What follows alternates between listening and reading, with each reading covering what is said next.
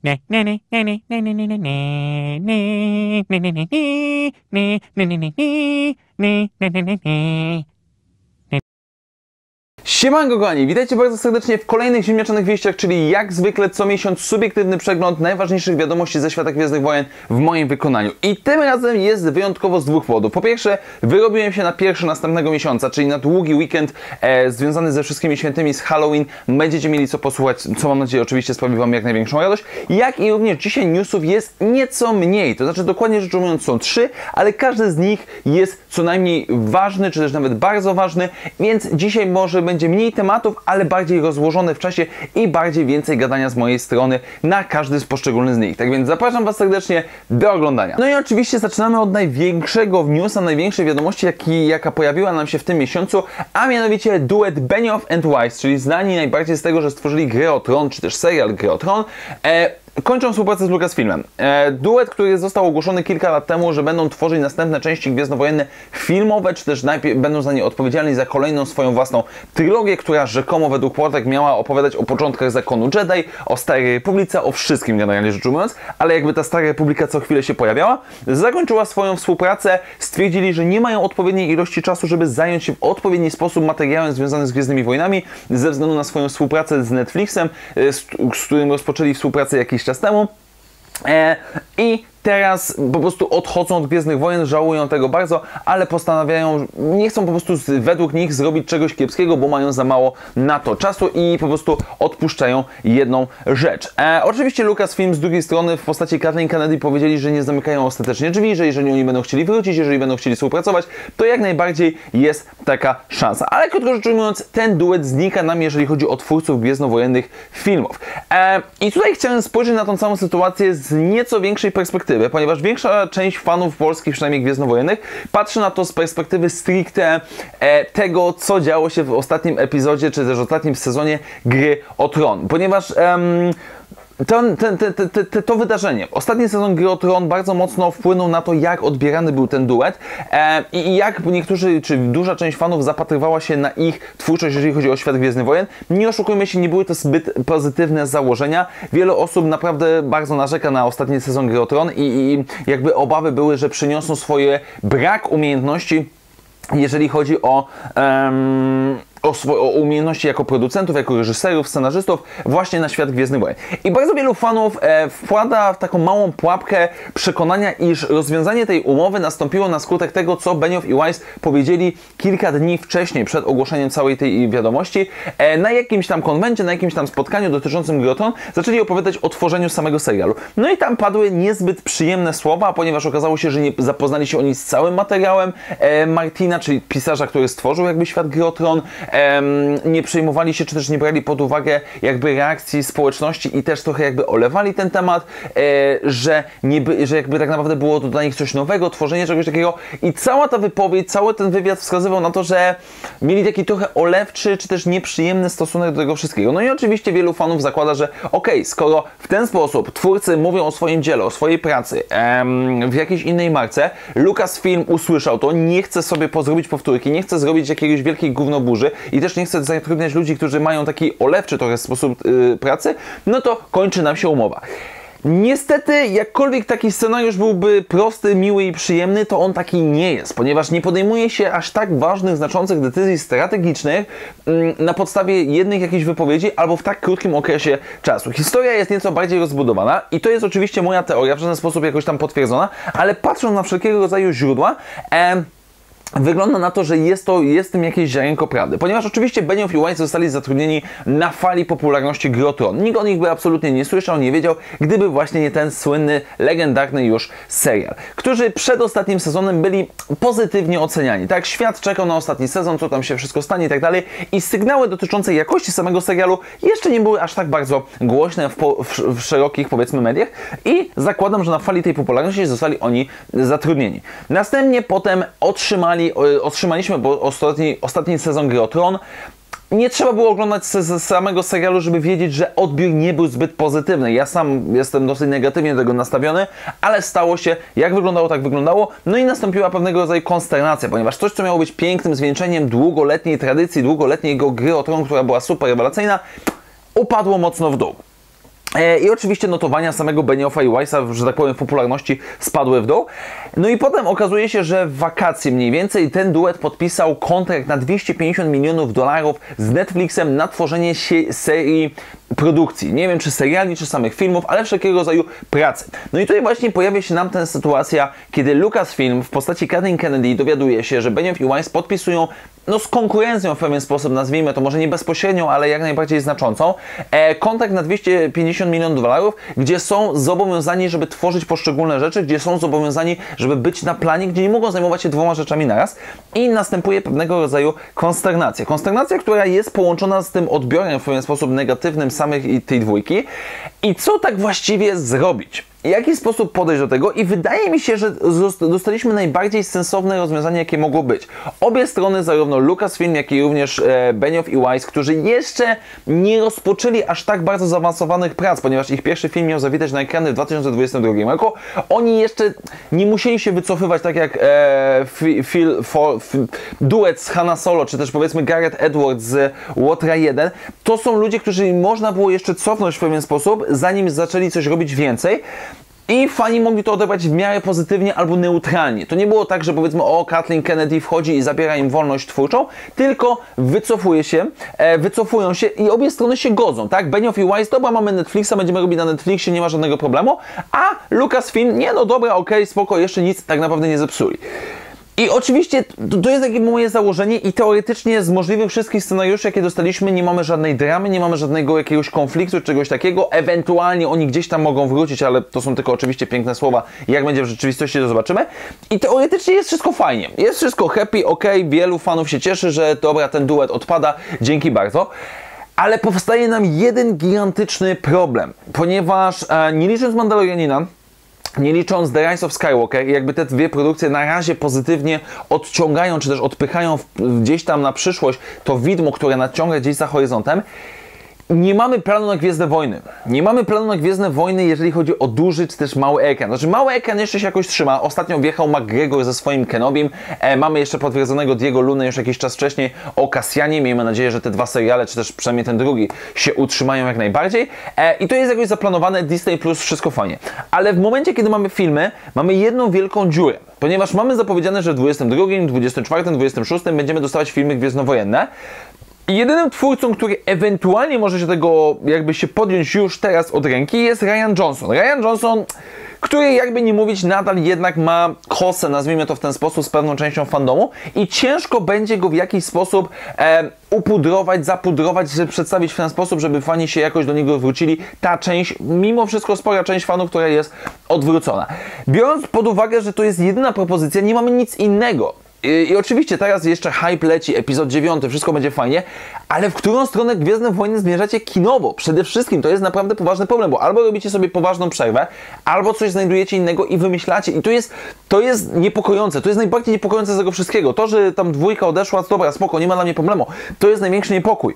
I tak naprawdę Lucasfilm ma zakładam do 8-10 miesięcy, żeby rozwiązać ten problem, ponieważ za 8-10 miesięcy, tam na wakacje przyszłego roku, mamy Celebration, na którym jak najbardziej wypada podać kierunek, w który zmierzamy. Jest 2020, dobra, za dwa lata dostajecie film od, nie wiem, Ryana Johnsona, od, od Rona Howarda, od kogokolwiek, nie wiem, Jamesa Gana, czy kogokolwiek, gdybyśmy, nie wiem, braci Russo, cokolwiek, żebyśmy wiedzieli i, I tutaj Lucasfilm sądzę, że teraz na no, święta będą mieli niespokojne, Halloween będzie, będą mieli niespokojne, myśląc jak to wszystko rozwiązać, kogo zatrudnić, w jaki sposób podejść, bo nie oszukujmy się, Lucasfilm ma nadal te problemy, nadal problemy, jeżeli chodzi o angaże scenarzystów, reżyserów, no nie wychodzi to idealnie.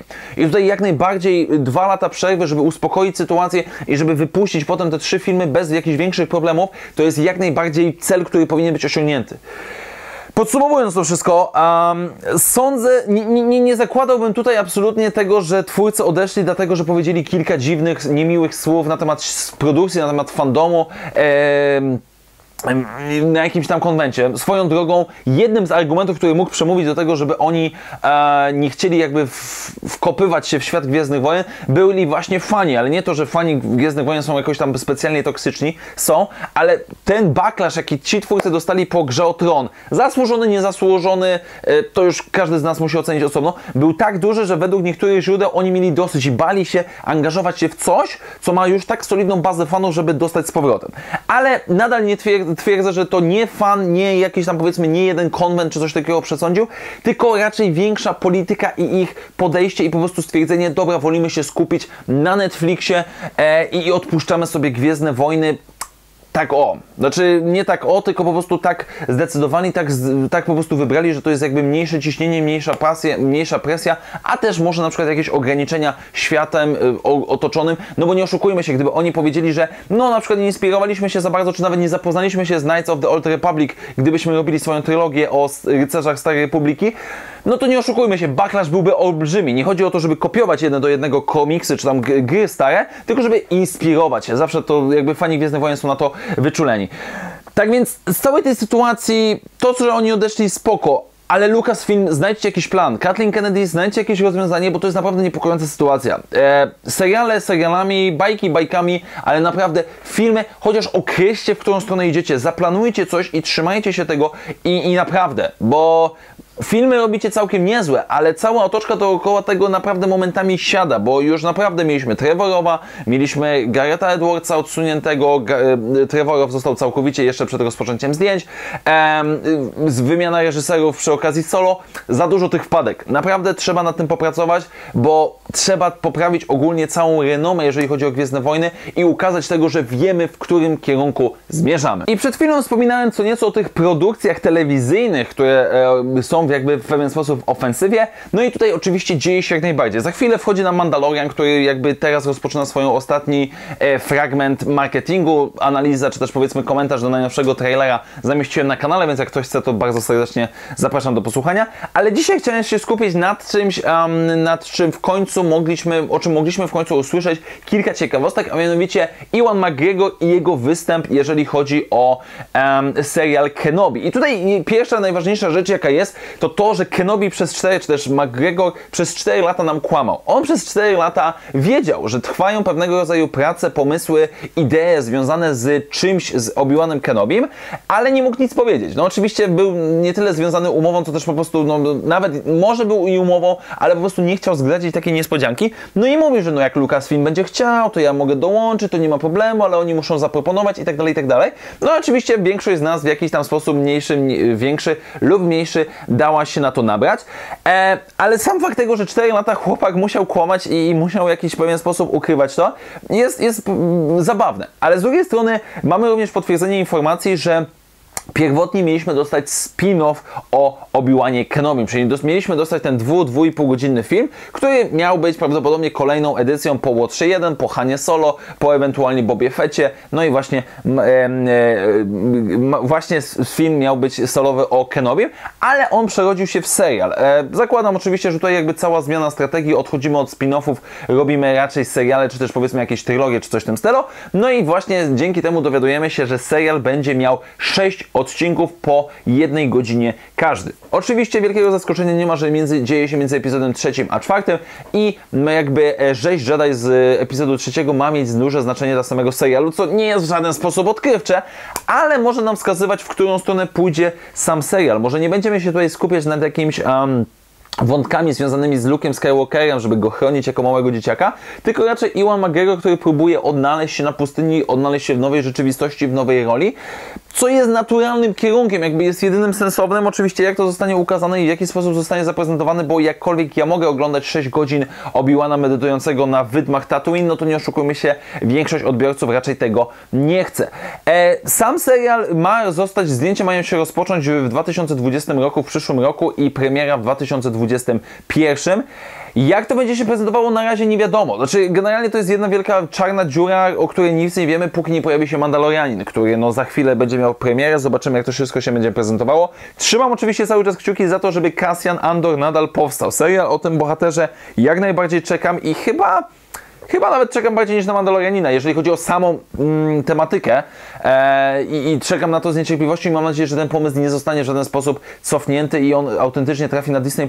Z drugiej strony szanse na to, że nie zostanie, że zostanie cofnięty są niewielkie, bo czymś trzeba tą platformę streamingową Disneya oczywiście zapełnić. Tak więc Iwan McGregor w końcu mógł zacząć opowiadać, w końcu mógł, mógł podzielić się z tym swoją kłamaniem specjalnym, czy też ukrywaniem informacji na temat tego serialu i, i kiedy oglądałem jakieś tam y, y, show amerykańskie z G, Jimmy'ego Kimmela, jeżeli dobrze pamiętam, z i właśnie Iwanem McGregorem, widać było, że w pewnym momencie, w pewien sposób jego to cieszy. Jego cieszy autentycznie fakt tego, że on może do tego wrócić.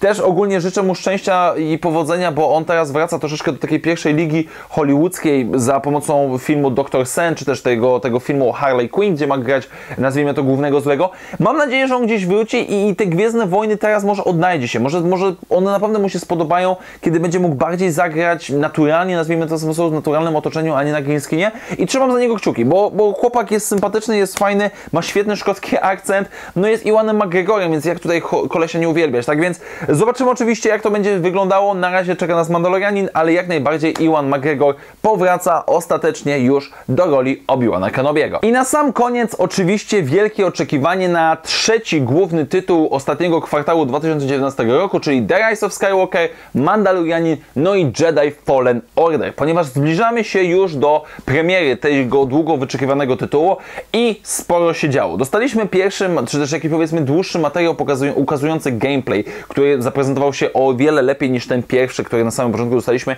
i na który wielu, wielu fanów i nie tylko narzekało. Dostaliśmy ostateczny trailer związany z mm, wypuszczeniem gry, dostaliśmy trailer fabularny, sporo tego się pojawiło. Dostaliśmy materiały o tworzeniu e, droida, który towarzyszy naszemu głównemu bohaterowi, wywiady z twórcami i ja jestem w pozytywnym szoku. To znaczy, nie mówię tutaj o gameplayu, bo absolutnie nie miałem możliwości zagrać. Dopiero zagram, jak kupię sobie, czy też odbiorę grę na premierę, bo oczywiście jest zamówiona w preorderze. Ale autentycznie jestem pozytywnie zaskoczony i daje mi przyjemność atmosfera dookoła całej gry. Pamiętając to, co działo się z Battlefrontem 2, dostajemy teraz ciszę, spokój i same dobre wiadomości. I naprawdę grunt pod premierę jest świetnie przygotowany. Gdzieś tam wstępne jakieś recenzje, e, zapowiedzi, czy też pokazy, e, czy też wypowiedzi ludzi, którzy grali w te 3 godziny, gdzieś tam udostępnione e, na, e, przez EA Games na planecie nowej Zephos oraz na Kashyyyk, mówią, że gra naprawdę zapowiada się świetnie, że jest duża, że jest rozbudowana, że jest e, dużo do zwiedzania, dużo możliwości kombinowania, kustomizowania, używania mocy, e, że cały proces jakby uczenia się mocy jest zupełnie inny i, i jakby wyjątkowe. I mnie to cieszy. Znaczy, yy, sama gra oczywiście może będzie dobra, może będzie zła, zobaczymy jak to wyjdzie, ale sam fakt tego, że jest taki pozytywny duch, nie ma jakiegoś e, zamieszania, nie ma jakichś problemów z mikrotransakcjami, nie ma jakiegoś tam e, złych odpowiedzi, znaczy złych zapowiedzi, to to wszystko sprawia, naprawia taką radością. Naprawdę te trailery, które wyglądają coraz lepiej, nie wiem, dziewiąta siostra z mechaniczną nóżką, bo odciął jej Vader w komiksach gwiezdnowojennych, to wszystko mnie cieszy. I naprawdę Karl e, Castus, czekam na jego przygodę z niecierpliwością. Oczywiście mam zamówione przed sprzedaży i, i jak tylko dostanę, to będę ogrywał przez 2-3 dni, żeby dać Wam swoje wrażenia jak najbardziej na YouTubie. A sam tytuł, no, czekam z niecierpliwością. Wygląda on nieźle, wygląda on ciekawie i tak jak mówiłem przy Mandalorianie, bardziej chyba na niego czekam niż właśnie na Mandalorianina, mimo że to jest inny okres czasu. Okres czasu, który mnie średnio interesuje, no bo kolejny Padawan, ale też to jest chyba ta radość z tego, że w końcu dostaniemy grę gwiezdnowojenną, która jest głęboka fabularnie, znaczy głęboka jak na świat Gwiezdnych Wojen oczywiście, e, która ma tą rozbudowaną historię, ma interakcję między bohaterami, gdzie coś się rozwija, gdzieś się rozbudowuje, a nie jest jakąś tam wydmuszką kampanii, tak jak było w Battlefroncie 2. I z jednej strony będziemy mieli Battlefronta 2, który teraz obecnie jest świetną grą multiplayerową i, i bardzo cieszy, z drugiej strony będziemy mieli Jedi Fallen Order, który zapowiada się jako świetna gra singleplayerowa, długa, która przebije powiedzmy te 10-12 godzin. Trzymam kciuki za to jak najbardziej i mam nadzieję, że to wszystko jakoś zostanie dobrze ogarnięte, że zostanie poprowadzone. Bo miejmy nadzieję. Zostały oczywiście gdzieś tam w dniu dzisiejszym czy wczorajszym pojawiła się informacja, że już są prowadzone prace nad jakimś innym tytułem, który ma się pojawić na przełomie 21 i 22 roku. Jaki to jest tytuł, z jakiego powodu oczywiście nie dowiemy się prawdopodobnie do grudnia, stycznia, dopiero wtedy zostanie nam to zaprezentowane. Ale jeżeli Jedi Fallen Order wyjdzie, jeżeli zostanie pokazane, że ok, gry singleplayerowe, gwiezdnowojenne się sprzedają przy odpowiedniej promocji, przy odpowiednim spokoju dookoła premiery samego tytułu, Mam nadzieję, że to wypali. Mam nadzieję, że to będziemy dostawać kolejne tytuły. Nie muszą być to kontynuacje Jedi Fallen Order oczywiście, ale, ale tego rodzaju gry Naprawdę chciałbym, naprawdę może w końcu gdzieś tam mamy światełko w tunelu, że gdzieś te Gwiezdne Wojny powrócą na konsole, na komputery. Może niezbyt często, może premiera będzie raz na 2-3 lata, spoko. Byle były to dobre gry, żeby to były tytuły, które naprawdę się sprawdzają, które dobre się, dobrze się prezentują i trzymam za to jak najbardziej kciuki. Tak więc oczywiście Jedi Fallen Order jest zamówione przez sprzedaży i jak tylko dostanę, będę ogrywał jak najszybciej, żebyście w ciągu 2-3 dni mogli dostać moje wrażenia wraz z gameplayem na oczywiście kanale. No i tak, moi drodzy, e, trzy newsy, niby tylko trzy newsy, ale dosyć znaczące, dosyć ważne. Benioff i Wise, Obi-Wan Kenobi i trochę o serialach, Mandalorianie też, jak i również Jedi Fallen Order. Krótko rzecz ujmując, zaczyna nam się listopad, zaczyna nam się naprawdę gorący okres, jeżeli chodzi o Gwiezdne Wojny. E, ja muszę w końcu to jakoś ogarnąć związane z epizodem 9, ale będzie, będzie się tego mnóstwo działo i to jest radość. Dla mnie to jest radość, że się dzieje, że jest dużo rzeczy, no kurde, pierwszy raz w życiu mamy tak, że wychodzi nam gra, wychodzi nam serial, wychodzi nam film i możemy się tym wszystkim cieszyć i będzie tego jeszcze, jeszcze więcej. No po prostu dobrze jest być fanem Gwiezdnych Wojen. Może nie wszystkie wieści są idealne, ale jak najbardziej i tak moim zdaniem warto się cieszyć i po prostu bawić tym całym uniwersum. Tak więc dziękuję Wam bardzo serdecznie moi drodzy za dzisiejsze spotkanie. Oczywiście dajcie znać w komentarzach swoje opinie, sugestie, cokolwiek pod tym materiałem, jak i również na Facebooku. A jeszcze raz dziękuję Wam bardzo serdecznie. Do zobaczenia wkrótce na następnych materiałach i jak zawsze niech moc będzie z Wami. Na razie, cześć!